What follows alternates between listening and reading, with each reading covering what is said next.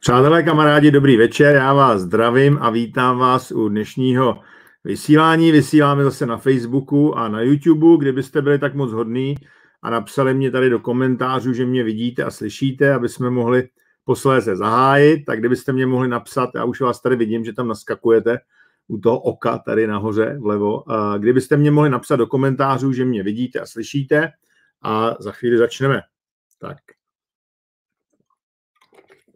Tady vidím nějaký srdíčko už. Jestli byste byli tak moc hodní, a už to tady vidím. Vidíme Nikola Musilová a e, momentíček, protože já to mám možná, ne, nemám to zamutovaný, tak to dám navíc, protože já jsem na něco koukal. Zdravíme z Olomouce, vidíme, vidíme, dobrý večer, vidím, slyším, paráda, dobrý, Tomáš Frojda, jasně, Jana Chalupová, Lávková, zdravím, Nikola Musilová, Tomáš Frojda, Ivana Christová, Marek Šmerda, Lenka Šnurchová, Antonín Předota, Jana Zichová, hello, čau, Jano, zdravím, Janičku, zdravím, zdravím, Vladimír Suk, Lukáš Procházka, Iva Bradáčová, to jsou tradiční hosté tady, Jiří Šrámek, Hanka Kašková, Lenka Štávová, zdravím vás všechny přátelé, mě tam teďka do toho něco skočilo, zase nějaký jiný okno.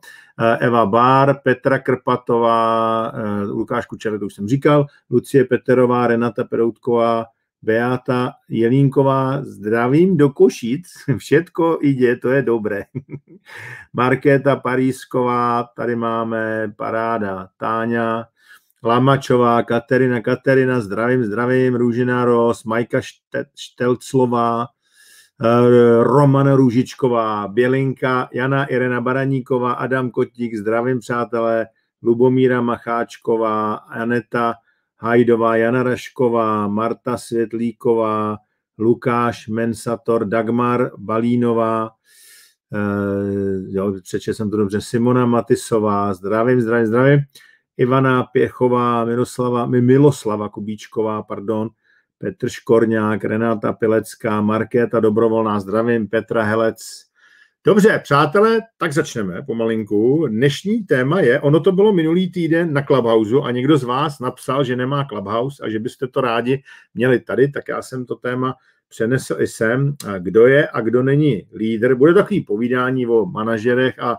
o lídrech a vlastně každý z nás je trošičku lídrem i sám vlastně pro sebe, eh, že jo. A já eh, začnu tím vlastně, co o čem, o čem, jaký je rozdíl mezi manažerem a lídrem. A když vedete lidi, tak někdy jste manažeři, někdy jste lídři, někdy jste obojí. A jaký, jaký v tom je rozdíl? A ono to má už jako jaký, nějaký historický, historický kořeny. Jo? Je to v podstatě tak, že když ty lidi se začali združovat v nějaký prostě tlupy, kmeny a tak dále, a začali lovit, no tak někdo ten lov musel jako organizovat, že jo, a musel třeba vědět, jako koho kam dát k té jámě třeba, jo, e, a, a, a potom prostě jako kdo bude mít roli a tak dále. No takže to manažoval. Takže tak, takhle vlastně se najednou prostě zrodil manažer, jo. E, nicméně pak e, se stalo to, že v tom lese už nebyla žádná zvěř jednoho krásného dne. No a bylo potřeba prostě jít někam jinam. A to už úplně není vlastně ta parketa pro manažera, protože manažer řídí lidi, řídí procesy, ale pokud vlastně hm, ten člověk má e, jako výst ty lidi, aby za ním šli, tak to už je o tom lídrovi, jo? protože lídr je v podstatě o tom, že v tom případě třeba když oni bydleli v nějakém lese někde a lovili tam, tak ten lídr řekl, když už tam ta zvěř tolik nebyla, tak řekl, přátelé, tady už vlastně té zvěři moc není, musíme jít do toho protějšího lesa, protože tam vlastně ta zvěř je, jako jo, a měl, to byl obraz světa, který ještě neexistoval, ale on tomu obrazu světa věřil. A takhle se zrodila ta vize. A oni, když začali věřit ty lidi v to, co věřil ten lídr, tak za ním šli. Mohla to být klidně i ta stejná osoba, jo? Že, že ten jeden to manažoval, ale byl i lídr. Jo? A takhle vlastně, představ, takhle, eh, jaký jsou rozdíly mezi manažerem a lídrem. Jo. Představte si matici 2x2 a představte si na osu Y si budete dávat manažerské schopnosti a na, osu X si budete dávat schopnosti výst. Tam dole nízké schopnosti, nízké schopnosti, ten levý kvadrant, to je špatně. Eh, manažér je někdo, kdo má velké schopnosti prostě manažovat ty lidi, procesy a tak dále, ty exekuční. Jo. Takže to je ten horní levý kvadrant. Jo. potom, když je někdo jenom jako má hodně ty vůcovské schopnosti, tak má velké schopnosti výst ty lidi, ovlivňovat je a tak dále. Jo? Tak to je zase ten pravý dolní kvadrant. Ale pokud vlastně se to smíchá dohromady, pokud někdo dobrý manažer, že řídí dobře ty procesy a ještě dobrý lídr, tak zpravidla to jsou ty úspěšní vlastně manažeři a lídři dohromady. Nemůžete být po každý lídr, protože někdy je potřeba tu organizaci jenom řídit, jo? Jako to ne, nepotřebujete mít ty vize a tak, ale ten lídr je i o tom, že umí ty lidi inspirovat. Jo? A většinou se to prostě tohle to promíchává jako ty dvě věci.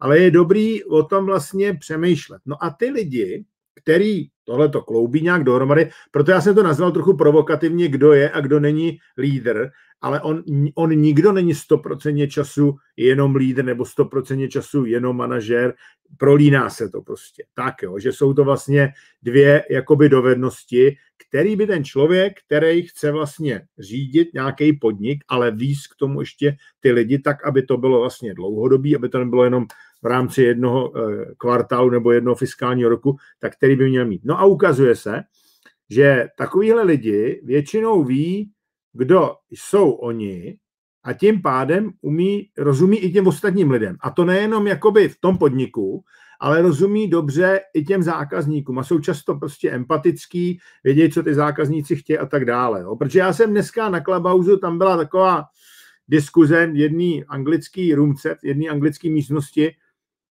na téma sales a marketing, kdo je úspěšný vlastně v prodeji. Jo. A první, první věc, co, cokoliv prodáváte, tak především prodáváte sami sebe. To je první věc. Když budou lidi věřit vám, tak a pak je naděj, že budou věřit vašim službám, vašim produktům a tak dále. Jo. A teďka na co jsou ty lidi hákliví? Jo? Ty lidi jsou nejvíc hákliví na to, aby ten druhý člověk byl autentický. To znamená, aby to, co říkal, taky dělal. A protože první jazyk nebyla mluvená řeč, ale řeč těla, tak ten druhý člověk, když vy se nechováte autenticky, tak je schopen to poznat za 17 milisekund, říká se to inkongruence. Že vlastně, jo, je, je to, anglicky se mu říká gut feeling, česky nebo slovensky intuice. Jo, prostě, že vy cítíte něco intuitivně, že to tak je. To máme, takhle jsme vybavený matkou přírodou, že poznáme, když je někdo neautentický. Jako.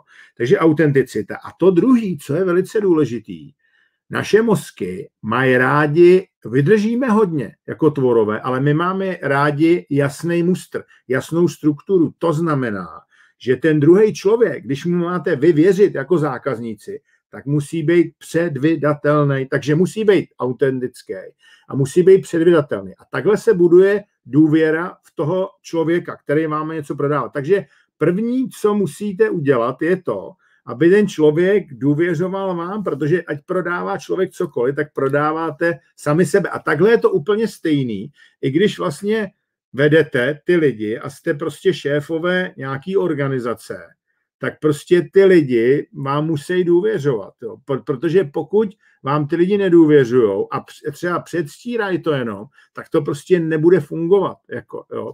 A je to skutečně, a důvěra se dá ztratit velmi rychle a buduje se strašně dlouho.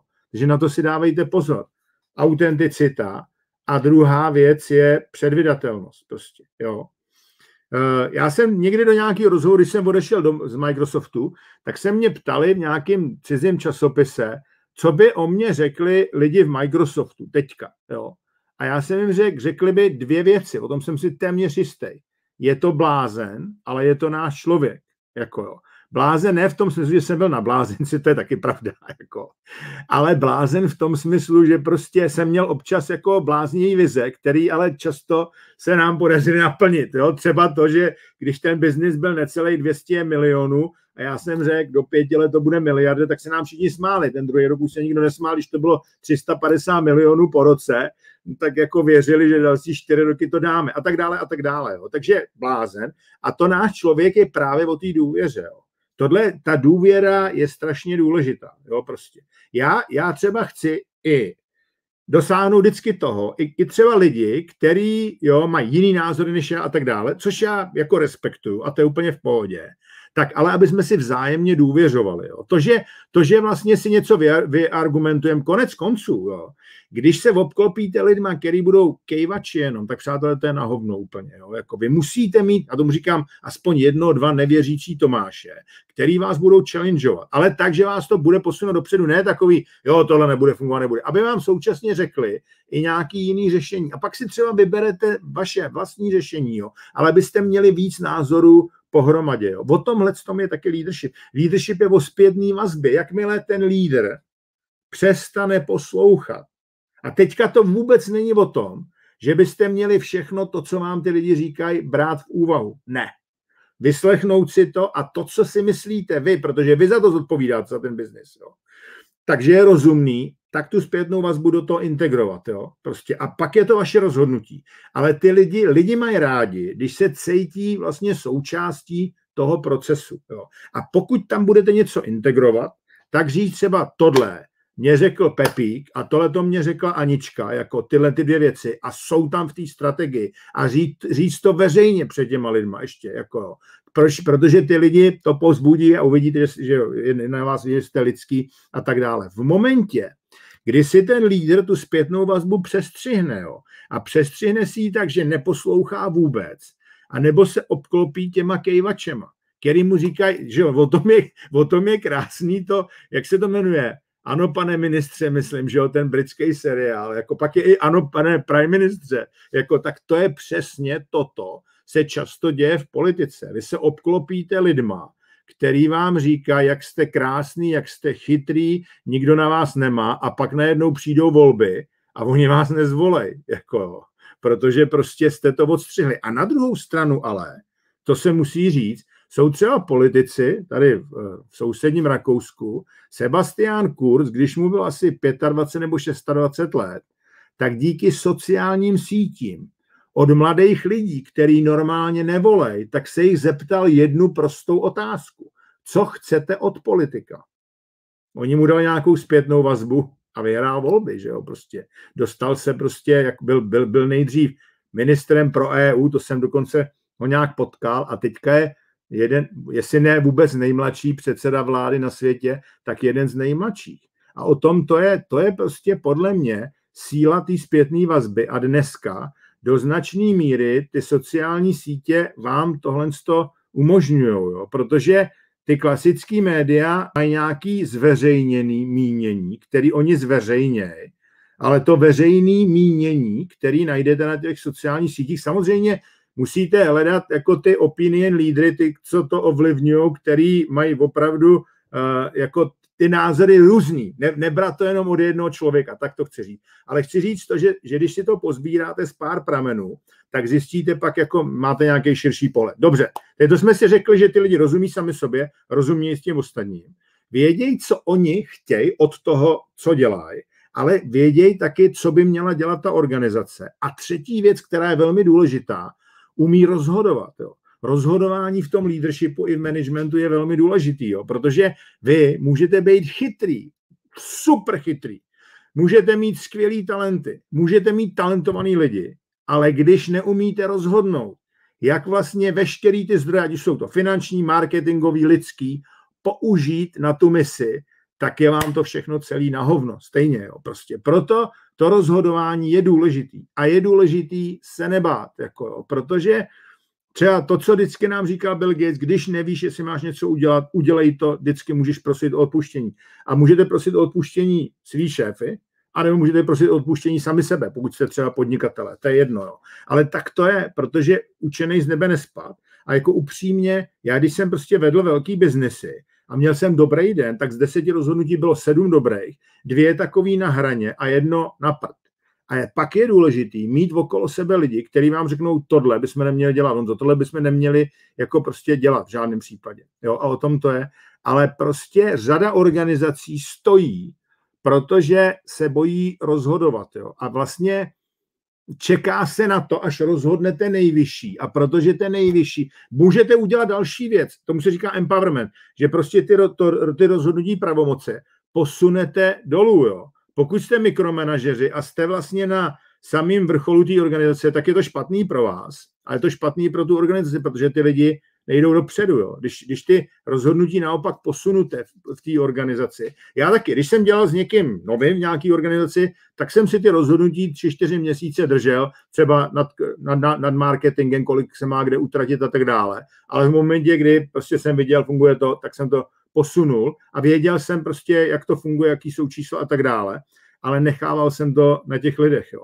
Protože ty lidi se to jinak jako nenaučí, jo. Vy musíte jednak mít biznisové výsledky, jasně, to vám nikdo neodpáře, to vás vyhodí za chvíli, když to nebudete mít, ale musíte rozvíjet ty lidi, aby oni byli schopní prostě aby ten biznis byl sustainable, aby byl prostě udržitelný. Jo. Vy můžete mít toumí každý trouba to napumpovat prostě nějaký biznis na půl roku, na rok, ale tak, aby se to vlastně udrželo. Jo. To už pak je o tom rozvíjet ty lidi, pracovat prostě na té vizi a tak dále. A teďka to, co, to, co pomáhá vlastně, eh, hodně těch manažerů a lídrů eh, dneska, jo, říká, no, já prostě musím hodně makat a tak dále, ale strašně málo lidí v biznesu podceňují tu obnovu sil, jo, jo, protože to patří taky k leadershipu, protože vy vydáváte určitý signály. Vy, když neodpočíváte a říkáte i veřejně třeba, že prostě, když si někdo bere dlouhou dovolenou, takže prostě je slabý, jako že, že to takhle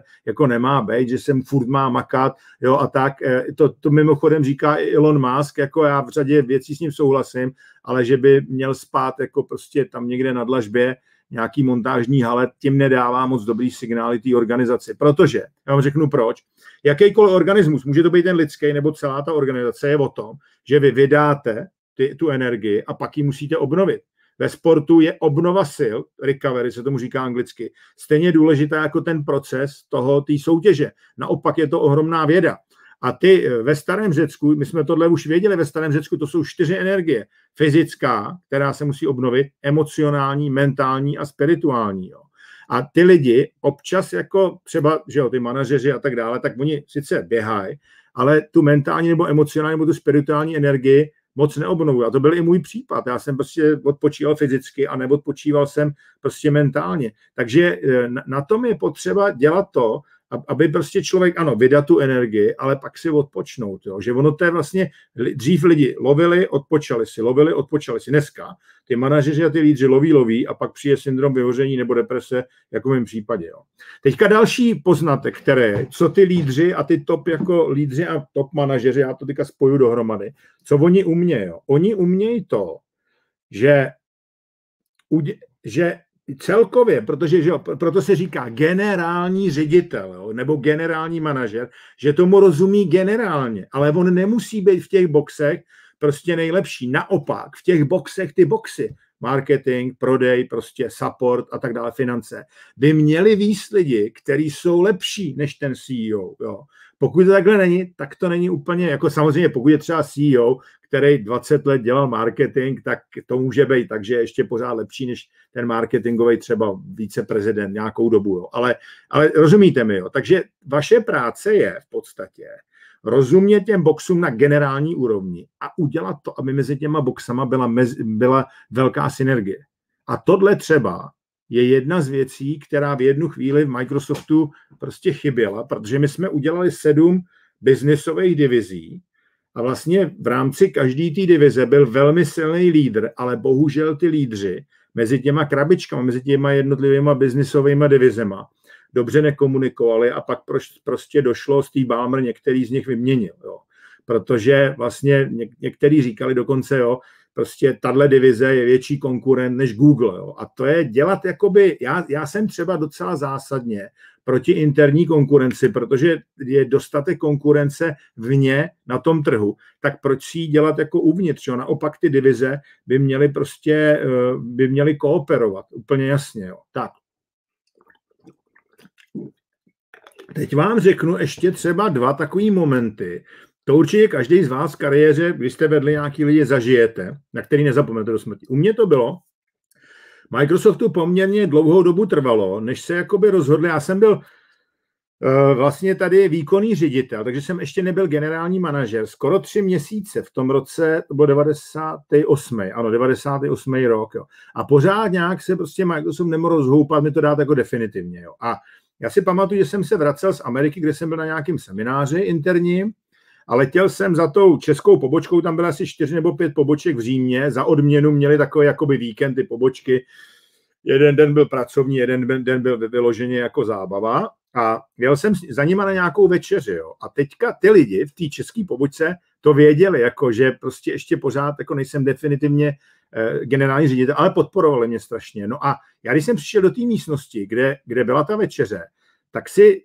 nejenom ty Češi, ale i ty ostatní lidi, protože my jsme se znali, že jo, protože když se to zakládalo, já jsem byl asi zaměstnanec číslo 15 ve, ve východní Evropě, takže jsme se všichni znali. A tohle bylo třeba, nevím, po čtyřech, po pěti letech už, jo. Tak si vlastně všichni stoupli a začali mě tleskat ve stoje, jo. Jako, protože ten Bob Klav, to byl můj šéf, on mě přivítal a pak si zase jako sedli.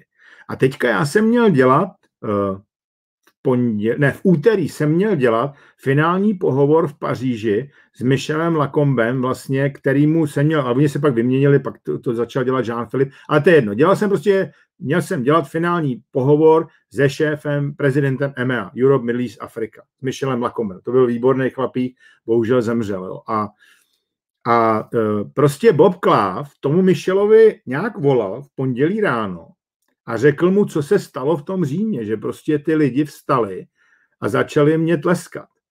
A ten Michel mu řekl, že žádný pohovor se mnou dělat nebude, ať mě jmenuje prostě generálním ředitelem. Takže Bob Klá ve středu přiletěl do Prahy a byl jsem generální ředitel. A to bylo, a přátelé, tohle je třeba okamžik, na který nikdy nezapomenu. Protože de facto vlastně ten pohovor jsem nedělal jako díky tomu, že prostě ty lidi věděli, kdo jsem, znali mě dlouhou dobu a tak dále a dali mě tu důvěru. Takže to byl jeden moment. A druhý moment, který byl absolutně jako úžasný, jo, a to zase nezapomenu, tak já, já to tam vidím, protože to bylo v jednom hotelu, myslím, že v Hiltonu, to bylo na La Défense, jako, uh, v Paříži, že my jsme ještě, ještě než jsme vůbec začali prezentovat svoje obchodní výsledky, když jsem dělal tu střední a východní Evropu, tak si celý vedení Microsoftu stouplo a minutu nám tleskali. Ještě než jsme vůbec jako něco řekli prostě. To jsem v životě ani předtím, ani potom už nikdy nezažil. Něco takového. Samozřejmě, že, tak to, že když, když to máte také nastavený, tak je ta prezentace byla úspěšná. Takže to byly takový dva jakoby momenty, toho, toho leadershipu, kdy, který obě, oba dva jsou opřený, že, že jo, jako vy si můžete říkat, byl, dělal jsem to skvěle a tak dále, ale ve finále je to o lidech, jo, protože vy vlastně to, co umožníte jakoby těm lidem, je, podle mě, to, co ten lídr dá do té organizace, tak se mu vrátí, jo. A mně se to vrací třeba, jako, já vám řeknu prostě pár lidí, který, s kterými jsem dělal velmi blízko. Vojta Jirku dělal poměrně dlouhou dobu přímo eh, jako sekretáře vlastně Petra Kellnera. To je jeden, který se mnou dělal. Olga Děrgunová vlastně dělá šéfou ve Velké bance, byla vlastně součástí i ruské vlády nějakou dobu, nebo ne, ne celý vlády, ale měla něco na starosti jako ve státní správě poměrně velkou funkci. To byla generální ředitelka v Rusku. Goran Radman byl generál, když odešel z Microsoftu, byl generální ředitel chorvatské televize. Jo. Takže ty lidi, i když jsme se jakoby rozešli, řada z nich má, třeba Silviu Hotarán má skvělý konzultační biznis v Rumunsku. Tomek Bochenek dělá zase šéfa v Oraklu, jo, prostě, jo, to byl zase polský, jo, a takhle bych mohl jít dál a dál, takže ty lidi, s kterými jsem dělal, tak to nebylo jenom, že by byli úspěšní v tom Microsoftu, ale něco se tam naučili a šlo to dát. Samozřejmě, že jsem to eh, nebyl prostě jenom já, ale i další lidi. Jo. Tak, další věc, kterou by ten lídr měl mít, je ovlivňování lidí. Jo. A být si přesně vědomý toho. Mě třeba, být si vědomý toho, jaký máte talenty, protože o tom, a ty, ty talenty vlastně je o tom, jak vy nahlížíte na svět, ale jak pak můžete pracovat s těmi lidmi. Já třeba tu první pětku v tom galupovém testu mám jenom strategické myšlení, ten sloupec. Tam jsou čtyři sloupce, abych vám to vysvětlil. Execution, to znamená, to jsou ty, co umějí dobře prostě vykonávat věci, pak jsou tam co umějí ovlivňovat lidi, pak je tam vytváření vztahu a pak je tam strategické schopnosti, strategické talenty. Já tu první pětku, první desítku mám tak nějak prostě eh, rozumně reprezentovaný ve všech těch čtyřech oblastech, ale pokud bychom vzali první pětku, které oni říkají top nebo signature strengths, jakože se s nima podepisujete, tak mám strategii a ovlivňování. A já jsem fakt jako nejlepší, nebo byl nejlepší a jsem pořád v tom, něco vymyslet, a ty ostatní lidi zdravým způsobem zblbnou tak, aby mě následovali. Nejsem úplně nejlepší na to, to dělat. Jo. Jako já, teďka třeba se zrodila další kniha, která bude publikována Albatrosem někdy v červnu, rodina jako tým, s Katkou jsme to dělali zase s Novotnou, že jo, která eh, je jako můj co-pilot na ty věci s dětma, co děláme. A je to vlastně o tom, jak může fungovat rodina jako tým v podstatě. A je to, myslím si, že to bude pecka, ale to je jedno. A v zásadě ten, ta práce na tom projektu probíhala tak, jako už u té předchozí knihy, že já jsem to namluvil, a mimochodem dělali jsme i hodně věcí tady s Katkou, to si možná pamatujete, a vlastně na základě na toho, co jste se vy vyptávali, tak jsme o tom přemýšleli a dávali jsme to hodně do té knížky, jako by ty naše odpovědi. Takže bylo to jako, jako hodně založený na ty zpětné vazby. Ale jako mě to baví prostě udělat tu strukturu, namluvit to a pak prostě ty věci do toho, jo, jako kde mají být, jaký obrázky, jaký fotky, jak to má být zalomený, jaká mají obálka, což je důležitý a je to třeba 30% další práce, tak tohle fakt jde mimo mě. Jo. A to se to zase baví Katku strašně moc. Jo. Proto je taky dobrý mít ty parťáky, s kterými děláte, abyste s nimi měli komplementární vlastně dovednosti. Jo. Ale to ovlivňování je důležitý. Teď vám ještě řeknu, je kniha, která se jmenuje It's a Manager, kterou napsal můj přítel a vlastně šéf Galupu eh, Jim Clifton. A ta kniha je založená vlastně jenom na datech, který ten Galup zjistil z průzkumu veřejného mínění. Jo, jako. Protože on, oni dělají spousty různých průzkumů veřejného mínění. A já vám teďka řeknu pár věcí, které z té knihy jakoby a z těch průzkumů vyplynuly. Zjistilo se, že když se podíváte na jakoukoliv organizaci, tak 70% vlastně uh, úspěchu té organizace jsou manažeři v té organizaci. To neznamená, jo, na těch lidech to strašně jako závisí na, na těch, kterým se říká individual contributors, ale v momentě, kdy ty lidi nemají správný vedení, tak vy nevodemknete ten jejich potenciál. Jo. Prostě ty, tomu se říká aktivně zapojený lidi, ty nejsou aktivně zapojení. Protože ten správný manažer najde to nejlepší v těch lidech, spojí je a inspiruje. Jako, ať už je to manažer nebo lídr, řekli jsme si, že to je, když to umí, tak to umí dohromady. A teďka vlastně o, o čem je jakoby ta budoucnost, co jim říká jakoby ty lidi, co přicházejí do toho pracovního procesu, tak pár věcí, co, co vlastně oni vysledovali. Že v minulosti to bylo hodně o tom, jako jaký dostanu plat a tak dále, jo, prostě jo, jaký dostanu bonus a tak. To se bere dneska už jako hygienický faktor, že je to spíš o tom, jestli když půjdu pracovat někam, jestli tam naplním smysl svého života. O tom ty mladí fakt hodně přemýšlej. V minulosti to bylo o té spokojenosti a to, to se bere jako ano, musím tady být spokojený, ale daleko víc je o tom, aby jsem se tady mohl rozvíjet, protože ty mladí lidi vidí, že díky té technologii každý z nich bude mít třeba 10 různých jobů během, jo, 10 různých pracovních prostě eh, míst během toho života to, co je důležité z hlediska leadershipu a managementu, že takový to vlastně boss, jo, že jim řekl tohle, tohle, tohle budete dělat, to v podstatě končí, jo, že vlastně daleko víc ten šéf bude muset být coach, to znamená se jich vyptávat prostě na ty věci a vlastně tím, jakoby to, to, co v nich je, tak to vlastně z nich dostávat postupně. Jo. Že to nebude o tom nařizování. To, to je docela zajímavé. Já jsem vlastně tohle řekl, já jsem dělal velký rozhovor, byl jsem na cover page v Ekonomu a pak jsem to dal na LinkedIn a jako dostal jsem tam hodně lajků, ale vzhledem k tomu, kolik lidí ten příspěvek vidělo, tak jich zase nebylo tolik. Já si myslím, že řada lidí žije opravdu v tom prostě starým jakoby paradigmatu, že, že opravdu šéf je ten, že nařídí a ty lidi takhle udělají. A já si myslím, že s tímhle je konec prostě, jo.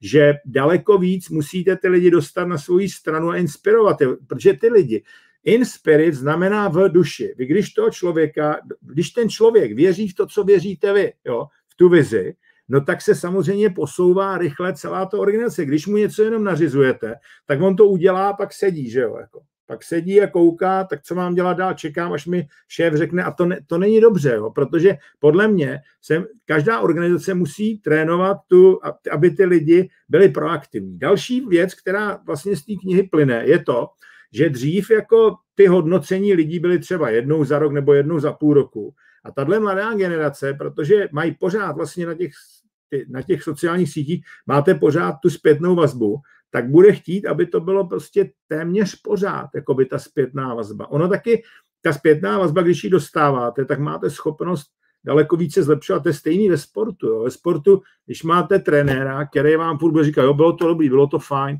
a pak jedete na olympiádu a prostě jste předposlední, tak je to špatně, taky něco není v pořádku, že jo. Eh, naopak jako trenér, který furt vám říká, tohle bylo dobře, tohle se musí zlepšit a tak dále, tak to vás posouvá dopředu. Jo? Já teďka jsem skončil se Sašou Šupeničem, který vyhrál olympijskou kvalifikaci a jedeme prostě teďka tvrdou přípravu na olympiádu, tak má přesně ten italský trenér, jako s ním dělá hodně a říká mu, a klidně je schopen i třeba během toho zápasu mu říct, počkat, vyměň si prostě teďka ten fleret, okamžitě prostě, ať si eh, to neposereš, jo, prostě a tak, jo. Předtím měl trenéra, který byl dobrý, který byl dobrý, ale vlastně tohleto během toho zápasu třeba ne, nebyl schopen dělat, i mu jakoby předat tu energii a tak to, to nedělal. Takže tohle je další věc, která je důležitá. A potom jsem vám chtěl ještě říct, že to, co se ukazuje, vlastně, že ty nejlepší lídři, je, je krásná kniha, která není bohužel česky, já se napiju. Já jsem zase jezdil na kole a teďka jsem cvičil, tak musím doplnit. A ta kniha se jmenuje Range, napsal ji David Epstein.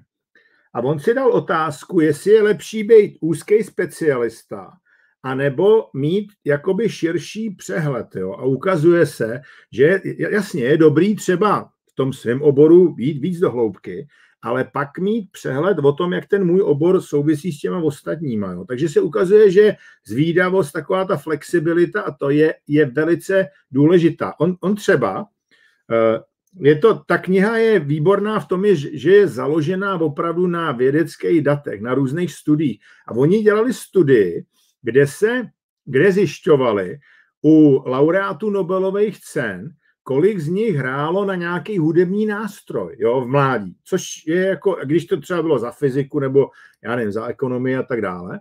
No a zjistili, že pokud jste nositel Nobelovy ceny, tak v průměru je o 25% větší pravděpodobnost, že jste hráli na nějaký hudební nástroj, než u obecné populace. Jo, třeba, jako, pak se tam zabýval lidma jako Roger Federer, který hrál kromě tenisu, hrál prostě basket, eh, fotbal a tak dále. Takže jednoznačně zjišťuje, proto se ta kniha jmenuje range jako rozsah, že je lepší mít jakoby to široký hledí. Jo. Tohle mimochodem já vždycky bojuju s tím, v těch skandinávských zemích mají hm, vlastně ten, ten sport, oni jdou, že jo, třeba tam, že jo, jsou biatlonisti, závodí na, na lyžích, jak se jezdoví, skokany, tam mají pak vlastně i cross country, to znamená běžky, ale ty děti dělají řadu vlastně sportů k tomu ještě. Jo. Já si pamatuju, my jsme, já jsem hrál profesionálně tenis, tak ale se k tomu hrál ještě v zimě hokej a v létě jsme třeba hráli fotbal, dělali jsme atletiku a tak dále. Jo. Že bylo to hodně o té všestrannosti, což dneska jako v řadě těch sportovců tohle to chybí. Jo, prostě. A e, Potom ještě teda, to je úplně poslední, abych si tady trošičku udělal jako sebemarketing, ale vlastně ta knížka Pozitivní lídr, ona se teda prodává jako hodně dobře stále. I během covidu obě ty knížky se prodávají velice dobře, jo? I, i, i když se to prodávalo prostě online. Ale ona se začala teďka hodně prodávat v té anglické verzi kvůli tomu Clubhouse, jo? kde vlastně já jsem hodně byl a, a, a vystupoval tam. Ale proč to říkám, že v té knize já jsem trošku předběhl dobu, v tý do, to, to je teďka pět let, to bude vlastně 20, to bylo v listopadu 2016, když jsme to dávali na trh. V tom, že já si tam totiž hraju s tou ideou, že když vy máte 4P, jo, tam se to v té české jmenuje 4M, ale já to budu říkat ty 4P, positive people, pozitivní lidi, že najdete to, to, co je v těch lidech nejlepší, ve vás a v těch lidech. Positive purpose, že najdete smysl té organizace, ale i vlastně těch smysl života těch lidí pomůžete jim. Pak vlastně positive process jsou ty čtyři energie, který vlastně vydáte na to, eh, na, na, na to plnění toho, toho pozitivního smyslu toho života. Ty čtyři energie zase obnovíte.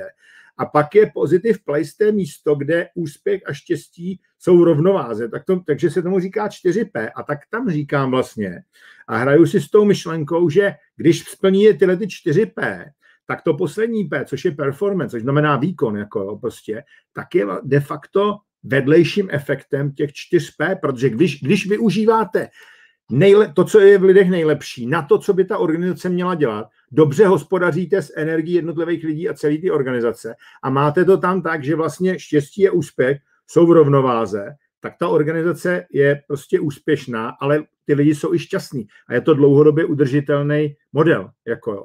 A to, to si myslím v tomhle tom, že je to trošku napřed. Jo, jako, a ona totiž, protože ta moje, to není moje zásluha, to je zásluha Meliny Kosty, mojí spoluautorky, protože ona učí. Takže ta kniha je trošku i napsaná tak, aby se podle toho dalo učit, jo, prostě, jo, protože ona je opravdu velice zručná spisovatelka. Jako já bych to takhle anglicky nenapsal v životě, jako to, co, to, co ona udělala. Ale to chci říct, že vlastně třeba teďka podle toho, eh, podle té knížky já učím na Lucemburské business univerzitě, což je největší univerzita v Lucembursku, vlastně, kde je hodně, což má Lucembursko, to asi víte, že jo, půl milionu lidí, ale jsou tam všechny nadnárodní organizace. Takže teďka zrovna mám vlastně další další semestr, další kurz se začíná, takže se to podle toho učí. Ono to není úplně jakoby oficiální předmět jako marketing, ale je to prostě něco, mě to jako těší, že, že se z toho stává postupně, postupně vlastně mainstream. Jo?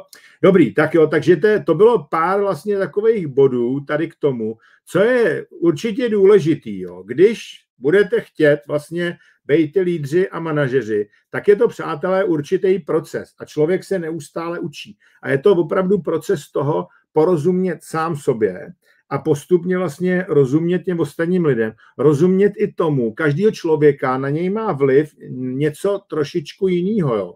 Protože někdo třeba, já nevím, když je někdo mladší a má hypotéku, tak samozřejmě je víc jakoby citlivý na to, kolik mu přidáte. Když je někdo už starší a přidáte mu třeba, jako jo, no tak ho to zase tolik nepotěší a musíte to kombinovat. A vtip je v tom, že všechny tyhle ty hmotné statky, jo, to znamená, nevím, bonus, akcie, prostě peníze a tak dále, jsou důležitý, ale to je ten krátkodobý motivační faktor.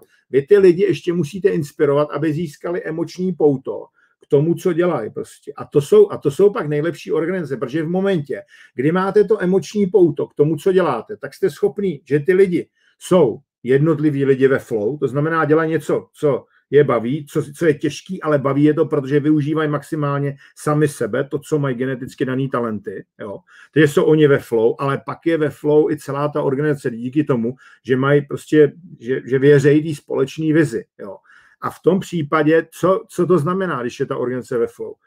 500% lepší produktivita, 450% se rychleji učí, 400% eh, jde nahoru kreativita. Jo? A to nejsou, to jsou čísla ze studie McKenzie. Jo? A teďka se dostává, to je úplně poslední bod a pak dáme otázky a odpovědi. Uh, Shell, když se, když se bavíme o leadershipu a o nejlepších organizacích, tak si dali otázku v té studii, v nedávné studii, co je potřeba na to, aby firma byla mezi prvníma pěti 200 let, jo, což fakt jako eh, těch moc není. To je GE, Shell, to byste opravdu jako spočítali možná na prstech jedný, maximálně dvou rukou, který přežili těch 200 let. Jo. A jednoznačně se ukazuje, že ta dlouhodobá konkurenční výhoda je jedna jediná věc. Schopnost té organizace se rychle učit nové věci. A to je o schopnostech těch lidí. A lidi se nejlíp učí ve flow, protože se učí všema smyslama. Proto já tvrdím, že ty organizace, které budou schopný odemknout potenciál těch lidí, a složit vlastně potenciál jednotlivých lidí dohromady a inspirovat je, to budou ty, kteří budou vítězit v tomto století, že takový jakoby ten starý model prostě toho bose, takhle podle toho pojedeme, eh, nefunguje. Motivace je důležitá, ty čísla, ty měření, peníze a tak, to je důležitý, ale vlastně ty nejsou dlouhodobě udržitelný, pokud tam není silný emoční pouto k tomu, co ty lidi dělají. Dobrá, tak jo, tak pojďme na to já, já teďka už dojedu někde, že tady už je otázeček hodně, tak pojedeme tady, taky tady, tady, tady, takže zase to dáme nahoru takhle. Dobrý večer, Prajem. Já bych se rád opýtal, jaký podle vás je rozdíl mezi lídrem a podnikatelem, možnost pohledu postouhnout a tak dále. Já si myslím, že Danieli, že podnikatel je vlastně, že tomu se říká anglicky entrepreneur, někdo, kdo prostě eh, podniká v něčem a pokud má vlastně na starosti nějaký lidi, tak je současně i lídr, vede tu organizaci, jo, že se to může překrývat. Pokud vlastně, já třeba vám řeknu můj příklad, co si třeba já, Milfaj o sobě myslí. Já si myslím, že jsem byl manažer a lídr Microsoftu, ale zase na druhou stranu, a takhle o tom přemýšlím já o leadershipu, když bychom to vzali, teďka jsem třeba jakoby sám, protože ty, co s kterýma dělám, to jsou mý partneři, oni mi posílají nějaké faktury a tak dále, ale a mají další ještě vlastně zákazníky, takže to, to nejsou mý zaměstnanci. Jo. Takže to, ale myslím si, že jsem lídr sám pro sebe, jako jo, to je jedna věc. A potom já mám dohromady asi 140 tisíc lidí na sociálních sítích, tak rozhodně na ně mám vliv. Jo. A já vlastně přemýšlím o tom, jaký je jakoby rozdíl mezi tím, tomu se říká teďka vznešeně influenceři, že ovlivňují ty ostatní lidi, že třeba jim něco prodává, což já jako vám občas tady řeknu něco o těch seminářích nebo o té knížce, ale myslím si, že vám jako netlačím, když budete chtět přijít, budu rád, samozřejmě jako když si koupíte knížku super, ale že bych to jako na vás hrnul, to na vás nehrnu. Jo? Ty influenceři jako klasický vlastně dostávají peníze za to, že nabízejí nějaký prostě výrobky a tak, jo. Ale to, to nevím, jestli úplně je ten jakoby leadership, jo. A potom je to, co třeba dělá dělám já, tak si myslím, anebo to dělají prostě, já nevím, nějaký lidi, kteří jsou hodně na internetu, já, jo, jako třeba Tony uh, um, Robinson, jo, Tony Robbins, pardon, Tony Robbins nebo Deepak Chopra, jo, nebo Robin Sharma, tak to jsou určitě opinion lídři, jo, vlastně lídři toho, eh, že, že opravdu ty lidi jako ovlivňují. Možná, že jsem to částečně i, i já, jako, jo, že, že, že to tak je. No. Tak tady se ptá Vlaďka, jak si eh, vybud, nejlépe vybudovat důvěru? Vlaďko, já si myslím, že důvěra se buduje našimi každodenními činy. A už jsem řekl, důvěra o dvou věcech. Jo. Že to, co řeknu, to udělám prostě. Jo. Dělám to, co vlastně říkám. Jo. Já když třeba něco někde řeknu na veřejnosti, i když mě to pak vytáčí, že jsem to třeba říkat neměl, tak to prostě splním, protože jsem takhle vychovaný a myslím si, že to takhle je správný, že co se řekne, tak se to prostě má e, jako naplnit a udělat. Jo. Takže to je jedna věc, jo. ta autenticita. A druhá věc je ta předvydatelnost. Jo. Je zase o tom, prostě jsou třeba šéfové, který řeknou něco v pondělí a v úterý je to úplně jinak a ve středu už je to úplně zase jinak. Jo. A tohle bohužel je v politice a proto je vlastně jako hodně klesající důvěra a to není jenom v Čechách, je to jako hodně markantní, ale to obecně po světě, jako, jo, že klesá důvěra v politiky, ale i v politiku jo, jako takovou. Že, že, že prostě to takhle. Takže je to v podstatě se jedná o každodenní činy, který, eh, který my vlastně děláme, aby byly v souladu, aby, byly autent, aby byl člověk autentický, aby vlastně co řekne, to udělal a podle toho se choval, a aby byl předvydatelný. Jo. Tak, tady se píše Ivana Pěchová, musí být podbalový trenér manažer nebo lídr. Velice dobrá otázka, Ivanko. Jako. Myslím si, že by měl být obojí. Jo. A vysvětlím to. Uh, musí být manažer, když řeknu to takhle. Jo. Já dělám třeba se, se Slávistou jedným, pak mám Spartiany a tak, ale dělám jako s jednotlivými fotbalistama. Jo. A vlastně ten trenér musí být manažer tehdy, když se baví o strategii, když jdou, já jsem si napít, pardon, když jdou hrát prostě proti někomu, tak vlastně dá dohromady tu strategii, jak na ně hrát, jo, protože oni koukají na video a tak dále. Manageuje vlastně ty jednotlivý hráče, jo, jak to udělat, jak tu sestavu se dát a tak. Jo. Já třeba teďka, jo, jsem měl zrovna předevčírem Patrika Šika, tak zrovna říká, říkám, co jste dělali, on říká, měli jsme video poradu, jak prostě budeme hrát a tak dále. Jo, jako zase Bayern Leverkusen, to je zase hráč, který hraje Bundeslize. Jo. Takže ten trenér, vlastně manažuje tehdy, když se dívají na to video, dává tu strategii dohromady a tak dále, co kdo má dělat a tak.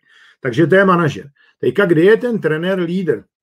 Ten je lídr tehdy, aby vlastně ty hráče sestavil dohromady tak, aby si prostě věřili jako tým a mít jako jasnou vizi, říct jim prostě máte na to. Ten, ten leadership se hodně projevuje v té kabině, kde je ještě jedna dynamika důležitá a to je mezi trenérem a tím kapitánem. Jo. Tam musí být prostě trošičku lehké pnutí, ale současně musí pracovat dohromady. Jo, jako. Uh, Řeknu to takhle, já učím vlastně uh, vytváření vítězných týmů s Pavlem Pumperlou, který byl dlouhou dobu kapitánem v basketu, jo, nároďáku, který skončili šestý v Číně. A vlastně přesně, když se o tomhle tom bavíme, tak že ten trenér národňáku je Izraelec, původem, on má tady český pas teďka, takže vlastně tam, byl, tam bylo takový to, to, to zdravý pnutí v podstatě mezi ním a tím trenérem, ale v zásadě vždycky jo, jako se shodli, a, a, aby prostě ta kabina šla dohromady.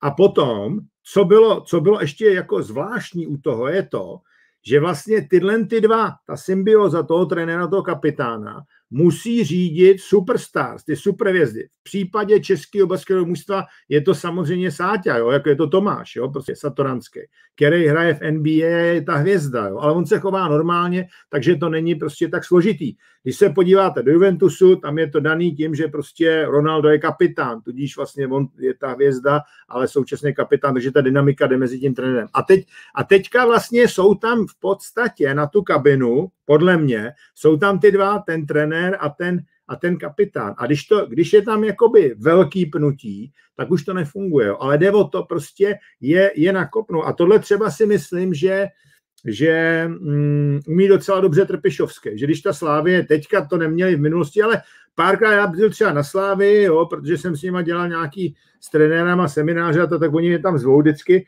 tak oni třeba prohrávali po první poločase a na druhou půlku nastoupil úplně jiný manča, protože ten Jindra prostě si tohle to umí jako udělat a, a vlastně ty hráči mu věří a tak, jo. Takže já bych řekl, že tam je balans, jako, jo, jako, jako ve všem, no, prostě. Dobře. Straubing, zdravíme do Straubingu tady, Helenu, jasně. Tak, eh, dělá multilevel marketing a důvěra je nejdůležitější. Udělal jsem spoustu chyb a vím, jak je pak těžké důvěru získat zpět a to jsem si jist, platí i v soukromém životě. Je to tak, no, je to, je, je, je to přesně, ono to je jedno, jestli to multilevel marketing, nebo jak, jaký, že multilevel marketing je zase prostě jiný biznisový model, jo, protože mě nějaký lidi psali, pane Milfa, jak to, že trénujete prostě Kay, jak to, že trénujete Oriflem, jak to, že trénujete finanční ty. A já, já jsem na tohleto povznesený. Pro mě je multilevel marketing jako mm, jiný delivery mechanismus, než třeba prodej přes nějaký řetězec prostě prodejen anebo dílerů v rámci softwaru, je to prostě jiný prodej, ale je to pořád prodej, tak proč bych ty lidi neměl jako trénovat, jo? A, a, a, a není to prostě nic špatný, já si myslím, že je to úplně normální věc, jo? Ale zase, co tady říká jako Marcel, že, že tam, když pak ujede člověk, tak je to pak tě, jakoby těžký získávat prostě ty lidi na zpátek a tak. Jo. Jinak u toho multilevel marketingu, tam je zajímavý jeden element, že některý lidi v momentě, kdy si vybudují tu svoji síť a dostávají třeba těch svých, já nevím, 120 nebo někdy 150 tisíc jako za měsíc, tak prostě jakoby vyschnou a už nechtějí tu síť dál budovat. Jo. A, to, a to je pak jako docela těžký to samozřejmě řešit. A opravdu je to i, i u těch finančních skupin třeba, který tohle to má, jo, a nebo, nebo i u těch, co dělají kosmetiku a tak, ale jako je to pravda, co tady říká Marcel. Trenčín je tu, ano, tak to zdravíme.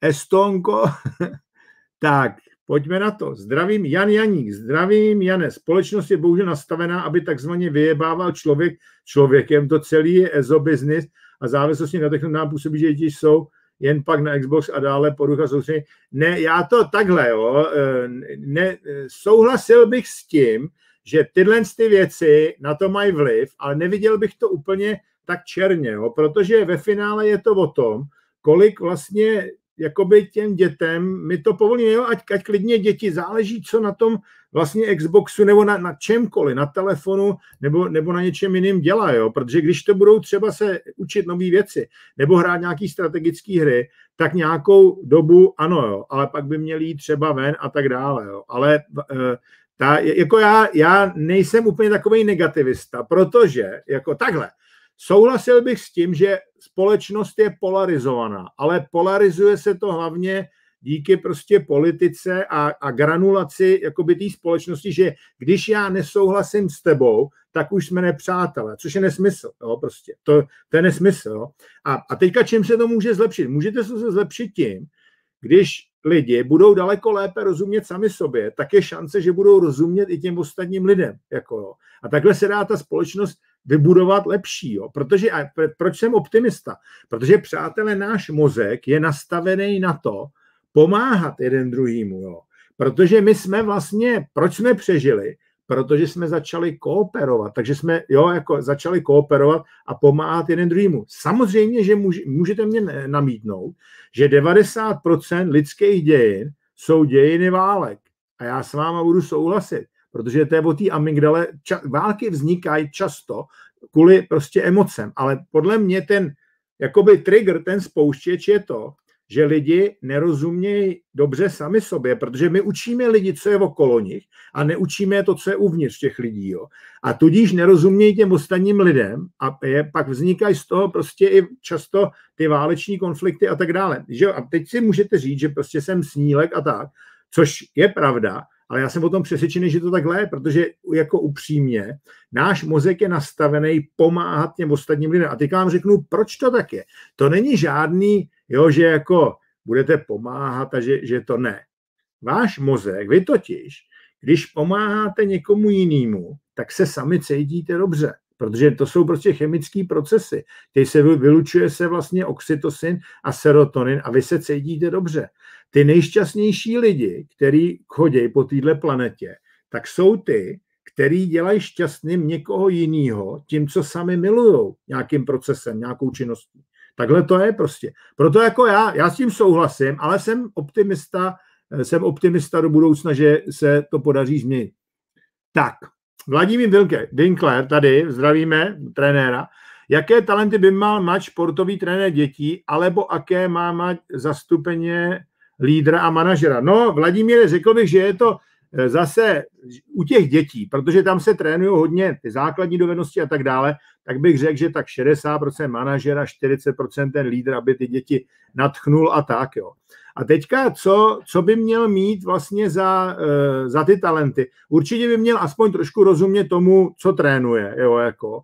Ale pak já si myslím, že je to o tom, uh, zbudit v těch dětech prostě, nebo obecně v té mladé generaci zbudit to nadšení, že prostě to dají, že to dokážou, že to je možný a tak dále. Jo. To je jedna věc, jo, prostě.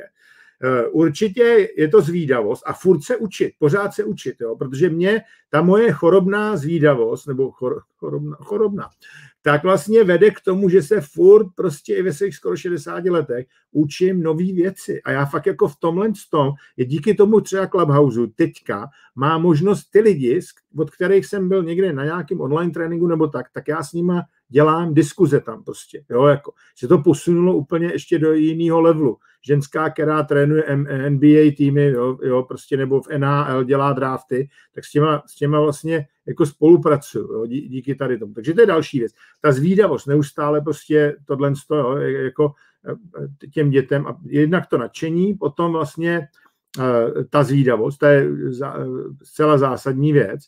A potom je to mm, rozpoznání vlastně toho, je dobrý, hele, je, je, je talent, který se jmenuje individualization v tom, u toho, u toho Galupa. Jo. A to je vlastně talent, že vy jste schopni, takový empatický talent, že jste v každém, eh, v každém vlastně okamžiku schopný poznat, v čem je tenhle člověk dobrý, v čem je tenhle člověk dobrý, že odlišíte vlastně jednoho člověka od druhého. Má to třeba Marian Jelínek, který je velice dobrý prostě trenér a samozřejmě i mentální coach, jako tuhle tu schopnost. Je to taková empatická schopnost, ale že vidíte ty rozdíly v těch jednotlivých. Jo. Pokud to má sportovec, tak je schopen odlišit zase, v čem jsou ty jednotliví soupeři dobrý. Takže to je pár takových věcí. Tady můj soused Honza Pučálka se ptá, zdravím Honzo, změní se mix managementu a leadershipu v době post-covidu, jestli ano, jak? Honzo, mění se to v momentě, kdy nastává krize, tak je samozřejmě víc, nastupuje krizový management, je tam méně demokracie, prostě, ale, jako co se týče managementu, jo, jo že, že vlastně to musí tak být, jo, prostě, ale na druhou stranu v té krizi hraje zcela jasnou roli prostě ten lídr, jo, protože leadership je o tom, lidi půjdou z té zóny komfortu. Lidi nemají rádi změnu. Náš mozek má rád jasnou strukturu, jasný farplan. Lidi nemají rádi změnu. A lidi půjdou za váma, když děláte nějakou změnu tehdy, dvě věci. Pain or pleasure. To znamená bolest. Pokud už je to fakt hodně bolí tam, kde jsou, a současně potěšení, že, že to tam, kde dojdou, to bude daleko lepší. A nejlíp je komunikovat, nejlíp je kombinovat oboje dvoje. Prostě říct, hele, bolí to, ta, ta cesta nás bude bolet, bude to bolestivý ty změny, ale musíme je udělat, jinak tahle organizace do pěti let nebude třeba existovat. Jo? I být takhle trošku přehánět té komunikaci. Ale pokud prostě tu cestu překonáme, ty překážky na té cestě, tak tam bude daleko líp v tom novém prostoru. Jo? Takže to bych řekl, že je takovým způsobem. Dobrý večer, chtěl bych se, Roman Štěpánek, dobrý večer, chtěl bych se zeptat, lze kombinovat vrcholový sport s podnikáním, co se týče soustředěnosti na sport i firmu, po případě, jak se oddělit mysl eh, na tréninku od práce. Tak, pár věcí. Eh, kombinovat to rozhodně lze za předpokladu, že budete taky odpočívat, ale mentálně, že nebudete pořád o něčem přemýšlet. Protože když budete 16 hodin o něčem přemýšlet, jako přemýšlel Milfaj, tak skončíte na blázinci, jako jsem skončil já. Tak to je, a nebudete mentálně odpočívat, jo, tak to prostě. Takže jako jde to, ale vlastně musíte jako ty dvě věci oddělit trošičku. Ale pozor, jo, ta hlava funguje, hlavu máte jenom jednu, jo, takže ta hlava funguje vlastně e, stejně a tudíž věci, třeba, že kdy, když se naučíte být mentálně odolný ve sportu, tak se to dá přenést i do té firmy, jo. Ale je důležitý, vlastně, když třeba trénujete nebo jste na závodech, nepřemýšleli o tom, co musíte udělat se zaměstnancem nebo něco takového. A teďka, a obráceně samozřejmě. A teďka, jak se to dá docílit? Jo. Je to těžký, ale dá se to docílit tak, že vlastně cokoliv děláte, tak děláte prostě soustředěně, jste v tom přítomném okamžiku. Jo. Prostě dneska to bylo ten nadal zakopne o tak se nasere, takhle prostě tam jsem vohnal tou pěstičkou ale prostě další dva, tři míče už zase hraje prostě pár excellence. Proč to je tohle? Protože ten člověk nedává tomu minulýmu míči ani plusový znamínko, když ho vyhrál, ani mínusový, protože on ví, že to tady a teď, tenhle ten míč, ten je nejdůležitější. A v momentě, kdy se tohle naučíte dělat u jakýkoliv činnosti, že, nebude, že budete v tom přítomném okamžiku, protože jedině přítomný okamžik vás posouvá dopředu, protože logicky, přátelé, to, co se stalo, je pryč. To nezměníte. To, co se stane, to tu ještě není. Jediný, co máte, je přítomný okamžik. Proto se říká v angličtině present, což znamená přítomný okamžik, ale dar. My taky nic jiného nemáme, než ten přítomný okamžik. Jo.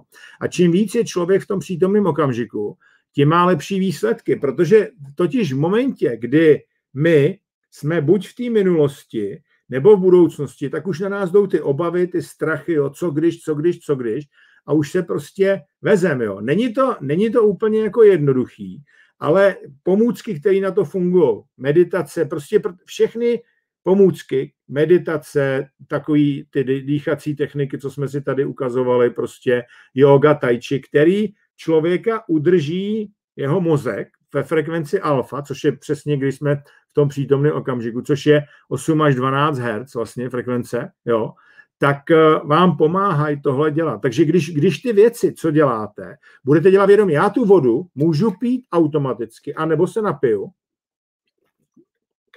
a prožiju, jak ta voda klouže tím hltanem. Můžete si vědomně čistit zuby, vědomně můžete chodit, vědomně můžete jíst.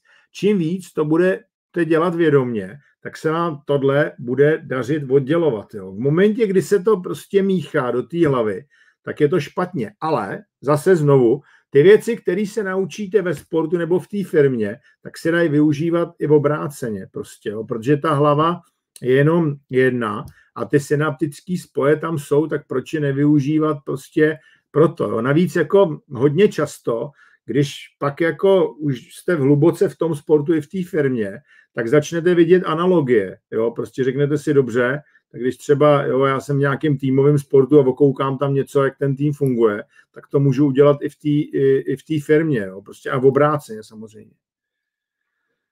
Tak, myslím, že je dobré být najsko specialista a potom nabrat zkušenosti, být zvědavý, začal nadhled. E, to si nemyslím, tohle. Já si to nemyslím. Já si myslím, že je dobrý to, co dělal vlastně Da Vinci, jo, že je dobrý zabrousit jakoby do jednotlivých těch boxů a pak ty boxy začít propojovat. Jo. Eh, řeknu vám to ještě jinak, jak funguje lidský mozek, jako u těch dětí. Jo. U těch dětí to funguje tak, a to je ideální, že ty děti si chtějí vyzkoušet různé činnosti. Pak si něco vyberou a vlastně ty činnosti, které nedělají, tak tam dochází k tomu, že jako kdyby se ty synapse přestřihly, tomu se říká pruning, a tam, kde to začnou dělat, tak se naopak ty synapse do sebe zapouzdří, tomu se říká tuning nebo mielinizace. Jako jo. Takže já bych řekl, že eh, takhle, ne, ne, ne, ne, nebych řekl, že, neřekl bych, že úplně nesouhlasím, ale že je dobrý se všeobecně vzdělávat a, a, a samozřejmě jít do něčeho jako víc do hloubky, to ano, jo, prostě, ale neřekl bych, že, protože já vám řeknu, v čem je Ondrej, Ondrej problém, jo. Když se stanete, jako půjdete fakt hodně do hloubky a stanete se specialistou v něčem, tak vás to bude bavit tak, že si budete říkat, to ostatní je jako nezajímavý v zásadě, jo. ale to pak je jakoby těžký komunikovat s tím okolím a, a tak, jo, tohle. Jo.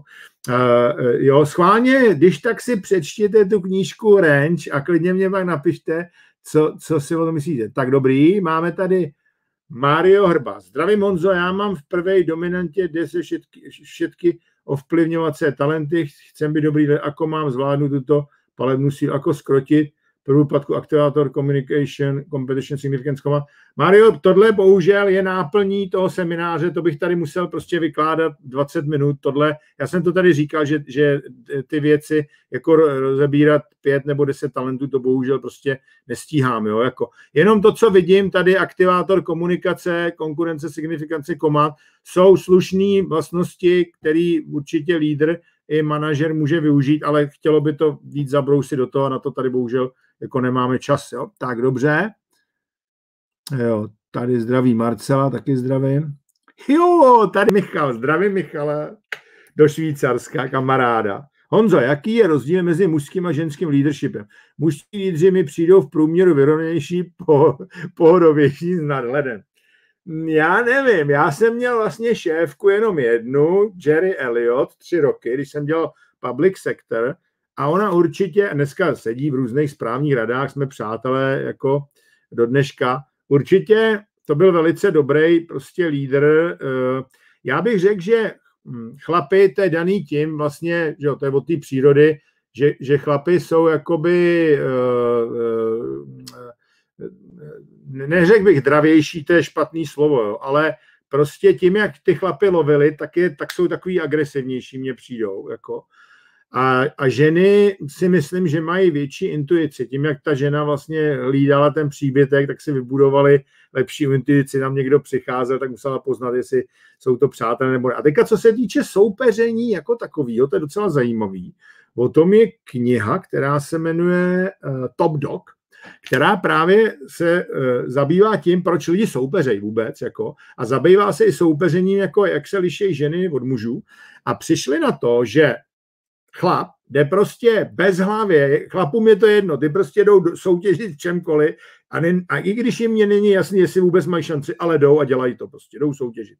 Ženská se podle té studie rozmýšlí a vlastně řekne si, jestli nějaká naděje na úspěch a jde potom soutěžit. A pokud soutěží, tak soutěží stejně dravě jako ten muž, takže to je stejný.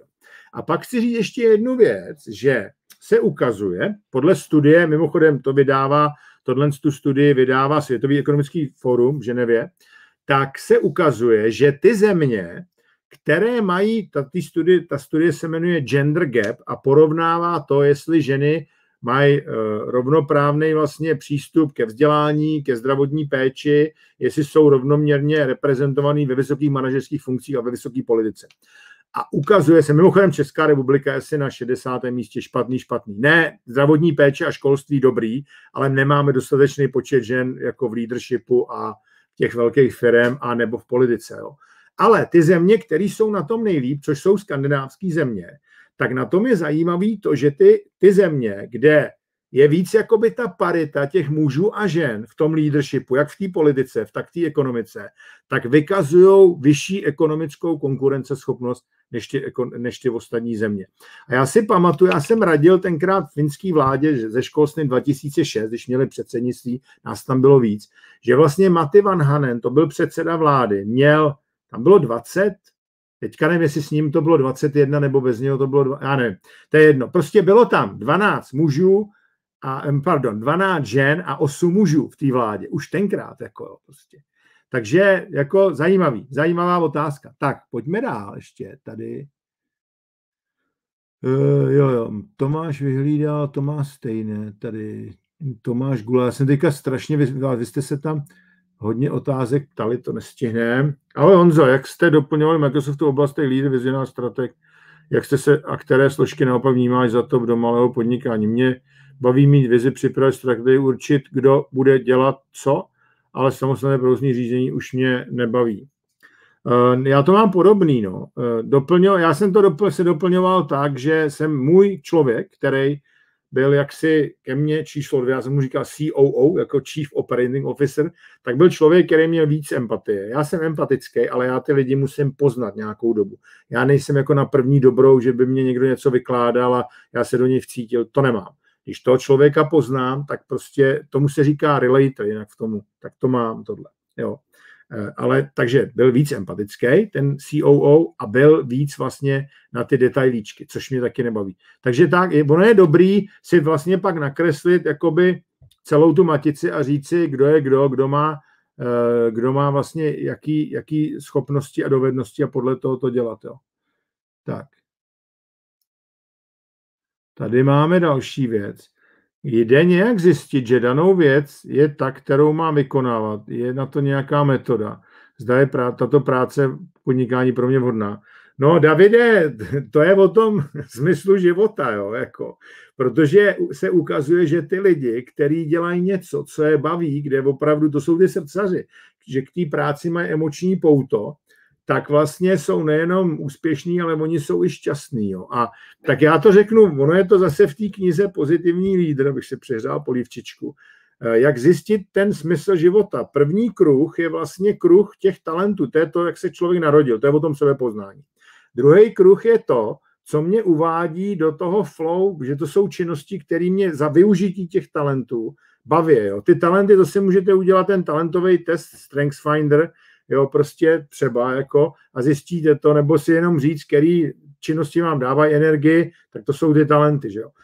Potom ten druhý, to je, zas, to je o tom, to jsou činnosti, které můžete dělat furt kolem dokola a baví vás. Takže to jsou dva kruhy. A tam, kde se to protíná, tak to vás dostává do flow. Ale aby to mohlo být smysl vašeho života, abyste třeba se tím mohli živit, podnikat a tak dále, tak ten třetí kruh, který se tam doplní, jsou vaše osobní hodnoty. A osobní hodnoty odráží to, co já prostě obdivuju na těch ostatních lidech. Takže si, když si vezmete pět lidí a u každého jednu vlastnost, tak máte svoje osobní hodnoty, protože ty osobní hodnoty tam dodávají to sociálno, jo? protože a, a, že ten smysl života je většinou něco, co je ještě mimo jakoby vás. Takže první kruh talenty, druhý kruh to, co mě baví a třetí kruh jsou osobní hodnoty. A pak, pak popřemýšlet o tom, když se to všechno protne, jaká činnost by to uh, měla být.